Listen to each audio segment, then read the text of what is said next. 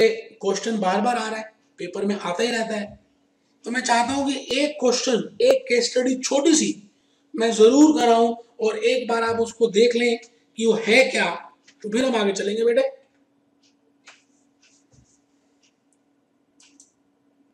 तो आप सभी ने, बेटे आप सभी ने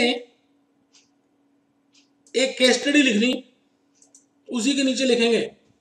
नीचे, ऊपर वाला छोड़ देंगे cost of BIMS meaning of BIMS छोड़ देंगे। नीचे लिखा हुआ है following is the trial balance draw value added statements following is the trial balance draw value added statements बनाइए बेटे, एक बार लिख लें।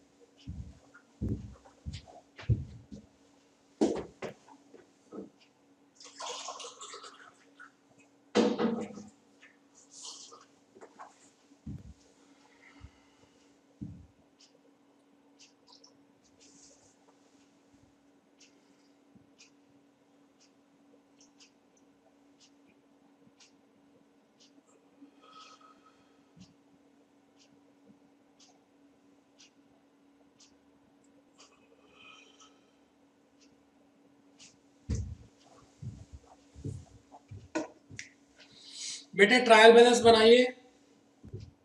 शेयर कैपिटल लिखिए। Fixed assets sales opening stock purchases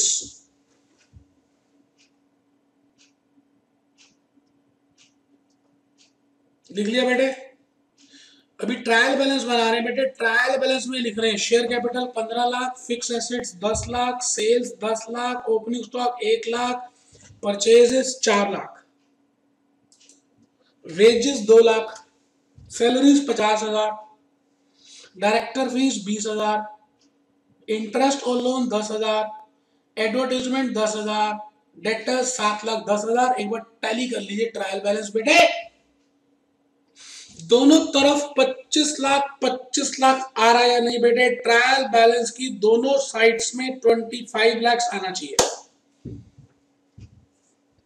Additional information closing stock is rupees one lakh provision for tax twenty five thousand rupees dividend rate बेटे five percent of share capital आराम से बेटे closing stock one lakh rupees provision for tax पच्चीस हज़ार.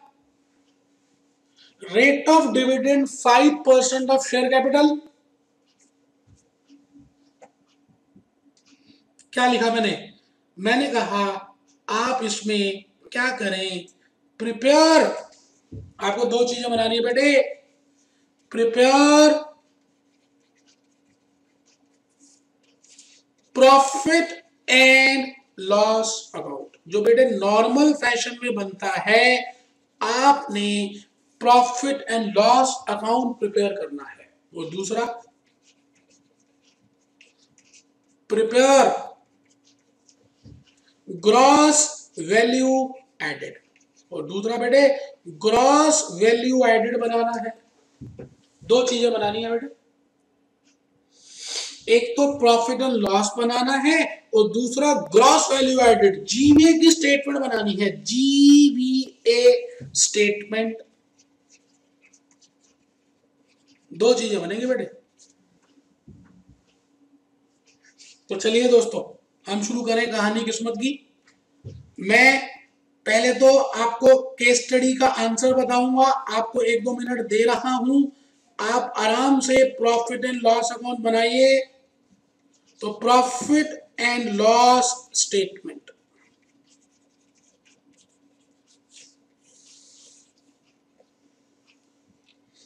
profit and loss statement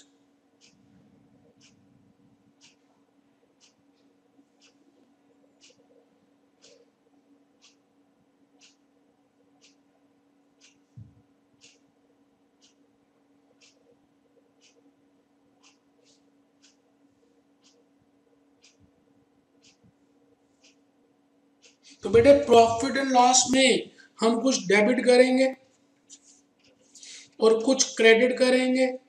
और बेटे, यहाँ पर प्रॉफिट निकलेगा। इसको बोलेंगे नेट प्रॉफिट और बेटे प्रॉफिट आफ्टर टैक्स जैसे अभी तक निकालते आए, आप प्लीज़ प्रिपेयर करें।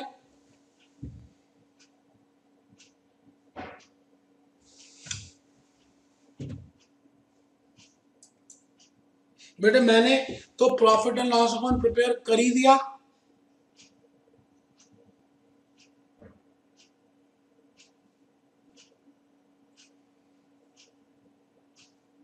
आराम से देखिए, मैंने नेट प्रॉफिट निकाला है two lakhs eighty five thousand by sales दस लाख बाय क्लोजिंग स्टॉक एक लाख टू ओपनिंग स्टॉक एक लाख टू परचेजेस चार लाख टू वेजेस दो लाख। और बेटे ग्रॉस प्रॉफिट के बाद लाइन आनी चाहिए थी, मैंने नहीं लिखी। टू ग्रॉस प्रॉफिट चार लाख टू सैलरीज पचास हज़ार। अब टू डायरेक्टर फ़ीस है बेटे।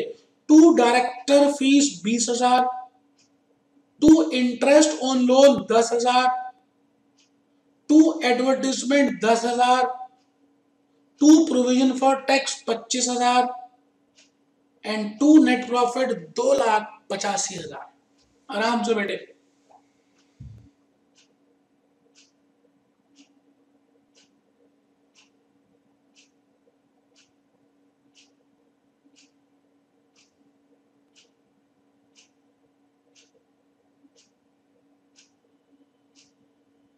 देखिए आपने नेट प्रॉफिट बनाया या नहीं बनाया? बेटे नेट प्रॉफिट एंड लॉस तो ऐसे ही बनेगा। केस स्टडी कर रहे हैं मेरे बेटे? ये तो नॉर्मल फ़ैशन से बनेगा। ये जो नेट प्रॉफिट आपने निकाला, ये दो लोगों के लिए है। एक तो शेयर होल्डर्स के लिए और एक एंटिटी के लिए। एक तो शेयर होल्डर्स के लिए, दूसरा एंटिटी के लिए। तो बेटे, मैंने आराम से आपके सामने profit and loss account prepare किया नेट प्रॉफिट निकाल दिया और शो कर दिया। अब मैं चाहता हूँ कि जो मैं समझाना चाहता हूँ, उसकी स्टेटमेंट को बनाए। अच्छा चलिए, मैंने वैसे अप्रोप्रिएशन अकाउंट भी बनाया। टू डिविडेंड फाइव परसेंट बेटे, पंद्रह लाख की कैपिटल है, पाँच परसेंट का डिविडेंड है तो पचहत्तर हज़ार आ गया। टू नेट प्रॉफिट दो लाख दस हज़ार। और वहाँ पर आ जाएगा बाय नेट प्रॉफिट दो लाख पचासी हज़ार।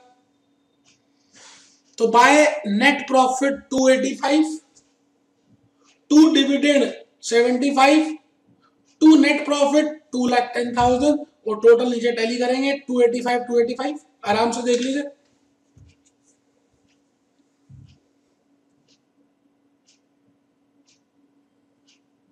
पंद्रह लाख का पाँच परसेंट डिविडेंड का रेट है बेटे, पचहत्तर हज़ार टू नेट प्रॉफिट दो दस बाय नेट प्रॉफिट दो पचासी।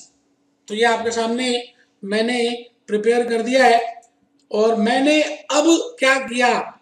इसी इसी ट्रायल बैलेंस की ग्रॉस वैल्यू एडेड स्टेटमेंट बनाई है। तो बेटे, आप सभी ग्रॉस वैल्यू एडेड स्टेटमेंट एक बार बनाकर दिखाएँ तो मैं मानू। तो मैं यहाँ पे लिख रहा हूँ statement showing gross value added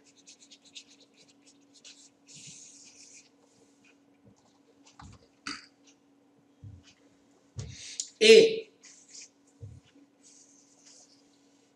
statement showing gross value added A बेटे, हम पहले तो फॉर्मेट बनाएँगे.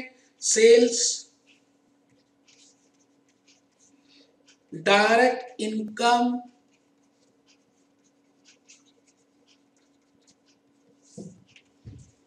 और ये टोटल कर देंगे B cost of bought in material and services बेटे बेटे आराम से। बेटे, इसको बोलते हैं BIMS cost of material and services इसको बोलते हैं बेटे बिम्स इसमें मालूम है क्या लिखते हैं?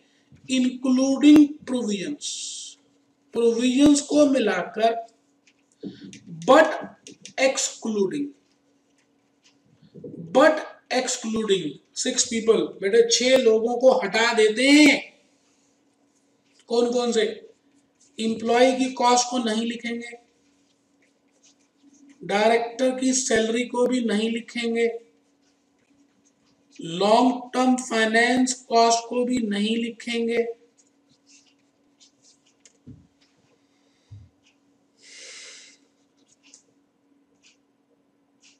गवर्नमेंट को जो दिया, वो भी नहीं लिखेंगे। शेयर होल्डर्स को जो दिया, वो भी नहीं लिखेंगे।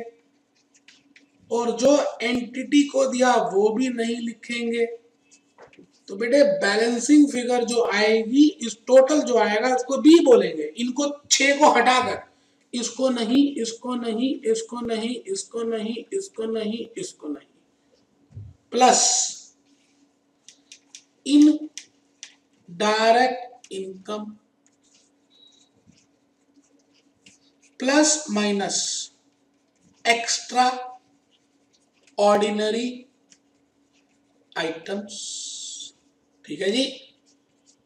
लास्ट में जो आएगा, बेटे, हम उसको कहेंगे, उसका नाम है ग्रॉस वैल्यू एडेड तो बेटे A minus B plus C plus minus D आराम से बेटे।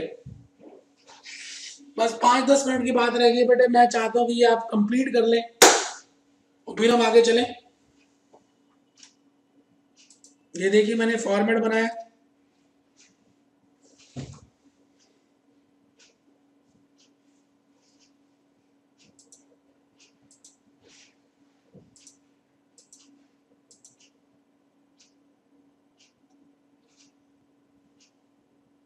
चेक करते हैं जी। क्या आपने ऐसे ही प्रिपेयर किया है? सबसे पहले हमने लिखा सेल्स टेन लैक्स बेटे हमने उसके बाद लिखा production cost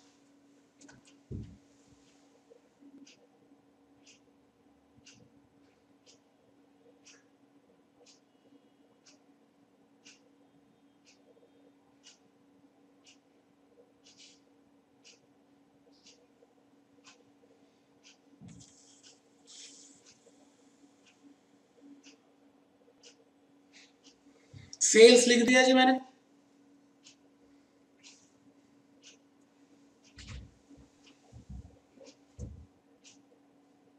Less bought in material and services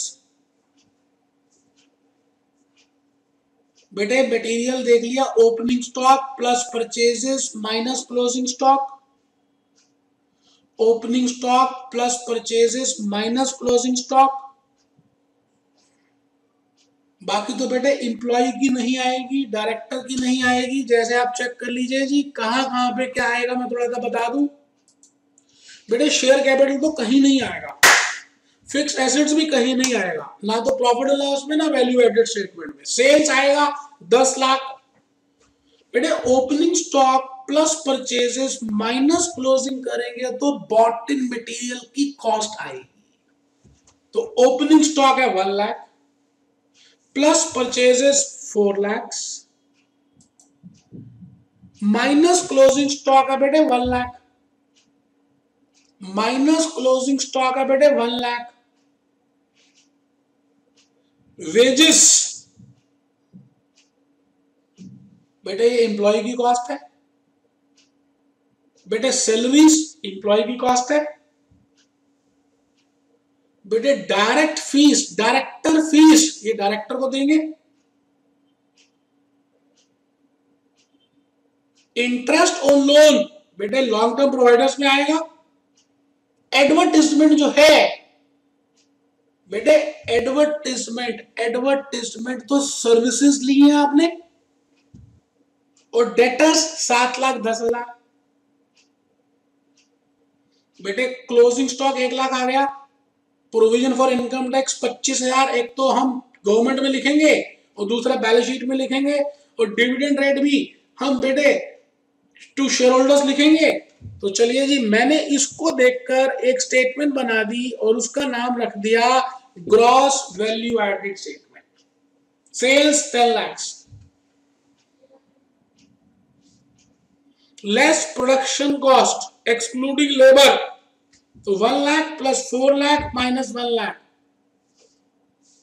consumed आ गया मटेरियल का। लेस एडवर्टाइजमेंट टेन थाउज़ेंड तो बेटे, उसके बाद एप्लीकेशन दिखा दी बस। देखिए मैंने एप्लीकेशन कैसे बनाई है। इंप्लॉय को कितने दिया? पाँच लाख नब्बे हज़ार मैंने छह लोगों के लिए कैलकुलेट किया five lakh ninety thousand rupees I have calculated for six people पाँच लाख नब्बे हज़ार मैंने छह लोगों के लिए कैलकुलेट किया था। सिक्स पीपल ठीक है जी? एक इंप्लॉय के लिए, एक डायरेक्टर के लिए, एक प्रोवाइडर ऑफ़ फाइनेंस के लिए, एक गवर्नमेंट के लिए, एक शेयर होल्डर्स के लिए और एक एंटिटी के लिए। आराम से नोट कर लीजिए पहले। और टोटल हंड्रेड परसेंट आना चाहिए। ये है बेटे gross value added statement employee के लिए ढाई लाख दिए, बयालीस परसेंट दिया डायरेक्टर को तीन परसेंट दिया प्रोवाइडर्स ऑफ़ फंड्स को एक परसेंट दिया गवर्नमेंट को चार परसेंट दिया शेयर होल्डर को बारह परसेंट दिया एंटिटी को पैंतीस परसेंट दिया, और बेटे सौ परसेंट टोटल आ गया। चेक कर लीजिए। और पाँच लाख नब्बे हज़ार भी टोटल आ गया। तो बेटे, इस तरह से ग्रॉस वैल्यू एडेड स्टेटमेंट बनती है।